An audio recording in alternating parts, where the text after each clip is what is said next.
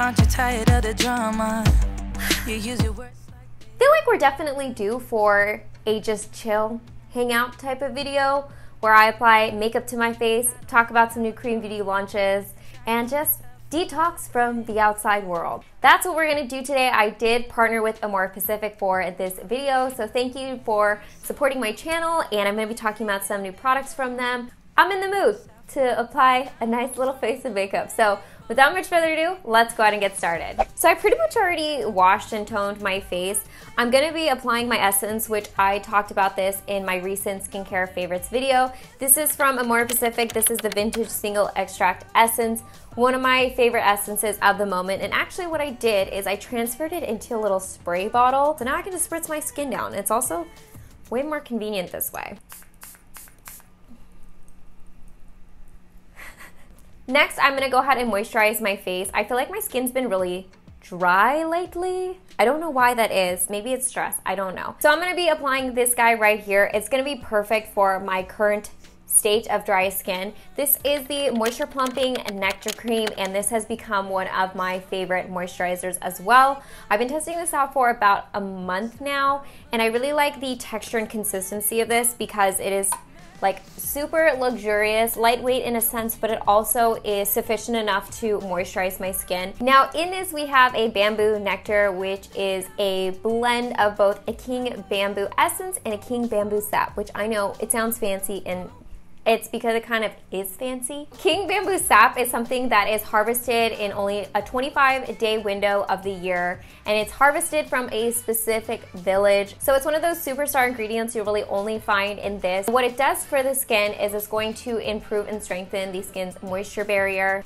And the king bamboo essence is something that's actually native to Korea and it's also extracted in a really unique way. It's actually kind of a fun like educational lesson. It's extracted by these Korean masters who basically heat up the joint and then compress it in a way where they're optimizing the potency of the king bamboo essence. So it's actually really cool and it's a very rare ingredient. Now besides using this as part of my skincare routine in the morning and like before makeup because this visibly plumps up my skin and gets it ready to go for nice makeup application. I keep this by my bedside and apply it right before I go to bed so my skin can you know, it improves the resiliency of your skin and the strength of your skin's moisture barrier. So all of that stuff I want to do while my skin's sleeping and rejuvenating basically overnight. In case you're curious, this does work really nicely for a lot of other different skin types. I mean, I've always been an advocate for moisturizing the skin. I think even like oily skin people need to have a good moisturizer. Like I said, this is something I have been incorporating into my skincare routine and enjoying. This just launched on Sephora and like I said, it's a brand new product from Amore Pacific. So I've really been loving that. It makes my skin look just so much healthier. So this is a sunscreen that also just launched from Innisfree. This is the Daily UV Defense Sunscreen. I actually just got this in a PR package. This has a broad spectrum SPF 36 and this is a water-based sunscreen. If you've ever want to see my beauty unboxings, that's where I do it. Has that like typical Innisfree like scent blended into my skin very quickly. It's basically supposed to be like a super lightweight sunscreens, which are all the rage at the moment. Like I feel like every company is coming up with a lightweight, non-white cast type of sunscreen. And this is also reef friendly. So if you're concerned about the environment, you can use this and not have to worry about that. Oh, I have like a pimple in my eyebrow. There's Buddy. So Etude House just launched this rosé wine collection and they sent me their Play Color Eyes palette and also the lipsticks, which I will be applying at the end of the video. As you would expect, like a rose gold kind of pinky type of palette. I have been using this a little bit and this is also something that I've used on my live stream. So I will go ahead and somewhere on screen tell you what colors I'm applying to my lid, but I'm just gonna go ahead and chat while I do this. Now I would say if you're familiar with the Play Color Eyes palette, this is pretty on par with the quality of the shadows. I will say this palette does have one of those like chunky glitter shadows right here, which I don't use those types of shadows, so that's gonna be an untouched shadow. I'm not gonna lie, I don't know if I needed this palette when I saw it launch. It wasn't something that I felt like was super unique or something that was super eye-catching. I will say though, it seems like a lot of brands, whenever they launch eyeshadow palettes, it's either like a neutral brown palette or like a neutral pink palette. And you know, like half the time I'm almost like maybe they're okay with that. Like maybe that is their goal. I've been doing a lot of live stream lately, which I've been enjoying because I can actually talk to you guys, which feels so nice because usually I'm just talking to a camera. I've been applying a lot of the new product launches right as I get them on live stream and just kind of like giving you my initial first impressions. Hot topics on my stream lately besides makeup has been obviously my dog Buddy. He has been pretty much like the main focus in my life currently because you know he's a puppy and if you've ever had a puppy boy do they require a lot of work and time and effort i'm curious to know like what your guys' summer plans are and when i say summer plans i also mean like any goals you're working on or maybe books you're currently reading or maybe like recipes you're looking to try. Yeah, I've been actually trying to read a lot more.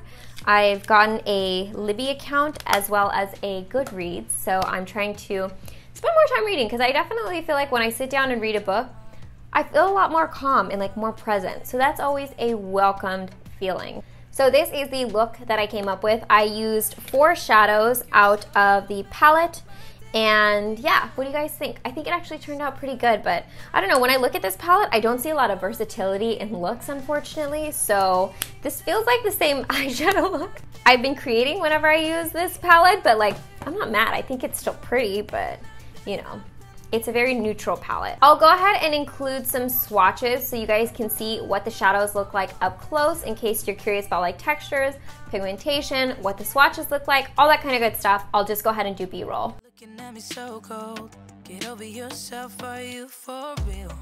Mm-hmm. Why are you looking at me so cold? One's love is now where enemies. Now let me go ahead and do my liner and mascara off camera so I don't mess up my eyeshadow look and then I'll come back and talk about some new foundations that have recently launched. So I've got two new foundations here. I've got the Etude House Double Lasting Cushion and I've also got the Hera Glow Lasting Foundation. Now I'm gonna go ahead and use the Hera one, but I'll go ahead and talk about the Etude House one really quickly. Like I said, this is the new Double Lasting Cushion.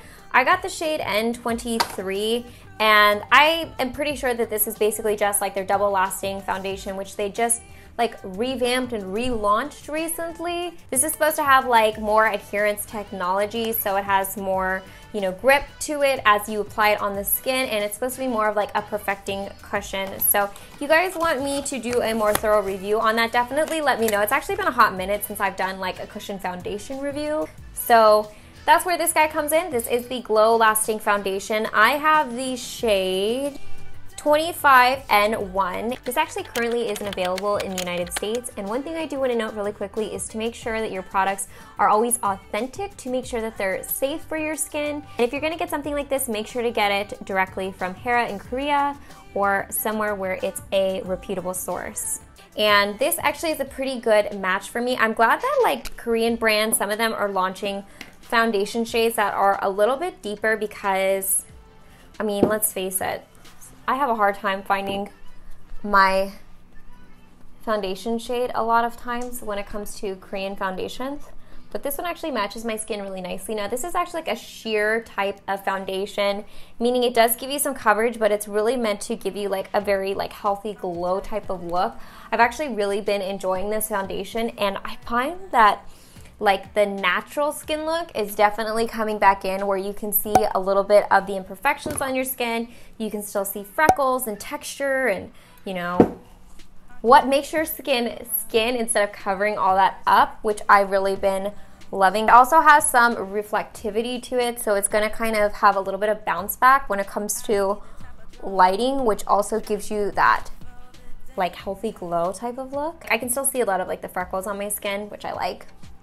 Sometimes I'll even like go back in and like redraw my freckles on because I feel like that's what really gives your skin that perfect look and not overly made up. Now I do set this just a little bit because I have a very expressive face so I don't want the foundation to move on my skin and I just find it's more comfortable to wear if I set it a little bit. So I'm gonna add a teeny tiny bit of powder.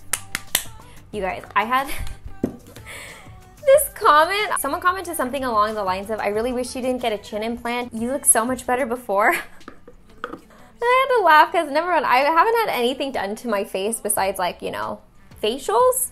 I've never done like any filler or anything like that, but it made me laugh because I think at the time I had like a giant pimple on my chin and I was like, I've had this like zombie pimple that keeps like popping up. I was like, how funny would that be if they thought I'd had a chin implant, but really, it was a giant pimple under the skin. I don't know if it was meant to be malicious or if it's just kind of like, I don't know, trying to be a one of those like helpful comments, but I couldn't help but laugh. Now I'm gonna go ahead and apply some cheek products. I have both of these from Peripera. This is the V shading. I know they launched a new shade recently, but the shade that I'm gonna be using is in almond brown. I've just been kind of like testing these out to see if I like them. I've recently picked up like a bunch of shading slash bronzing Korean beauty products and I'm like trying to get like my contour game better. My makeup game. I'm like trying to try some new techniques. I've been like buying new products and trying out different things. I don't know. I don't know what I'm doing half the time. Next, I'm gonna use this Pure Beam product. This is new to me. This is in number four. And this is actually very pretty because it's like a shimmery blush product. These have been super popular in Korean beauty at the moment. These like shimmery blush products, whether they're cream or whether they're powder, pretty much everyone has like a highlighted blushed cheek. Every single Korean beauty brand coming up with products like this, but I mean, it's pretty popular in Western beauty as well. So I'm excited to see it because I get to like try out like, look. I get to try out these like very gorgeous, like fun products. And again, I think this is to kind of mimic that like glowy, healthy skin look. But think they're just so pretty. And you can kind of see it's a bit of like a lilac-y gold, like a multi-dimensional type of glow. And the emphasis is more on the glow than like the pigmented blush itself. It's just kind of like a sheer wash of sheen. Like I haven't seen a ton of like separate highlighting being done. It's like a lot of very blended into the cheek type of look. Now last but not least, I've got these two lipsticks that were part of the Rosé collection from Etude House, like I said, that just launched. And I have the shades OR210 and also PK014. So let me go ahead and apply the PK014 first, and then we'll wipe it off and I'll swatch the other lipstick. These are both velvet texture. These velvet lipsticks specifically, they're okay for dry lips like mine. I find they do go on a lot nicer if my lips are fairly moisturized because they will emphasize some of the dryness of my lips, but they're not as bad as some other like velvet or matte type of lip products. So this is the first shade, the PK014. Very neon, kind of perfect for summertime. And then I'm gonna go ahead and apply on OR210.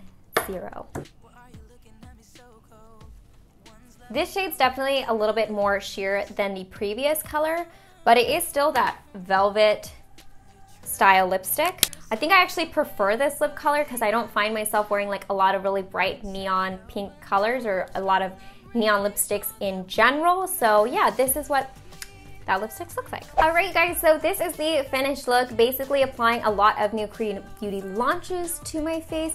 I hope you guys enjoyed, and I will place product links down in the description box below in case you want to check any of them out. Again, thank you to Amore Pacific for partnering with me on this video. With everything going on, I feel so lucky that I'm able to partner with brands that I absolutely love and adore. So thank you so much. And also thank you to everyone for hanging out with me and just talking about new Korean beauty launches what's going on in life and all that kind of good stuff. I was kind of inspired because I've just been enjoying my live stream so much lately, so I also want to do something somewhat similar on my YouTube channel. And yeah, I hope you guys enjoyed. As always, I hope you guys are happy and healthy. And don't forget to rate, comment, subscribe, share with your friends and family, hit that notification bell, and I'll see you guys in my next video. Bye, guys.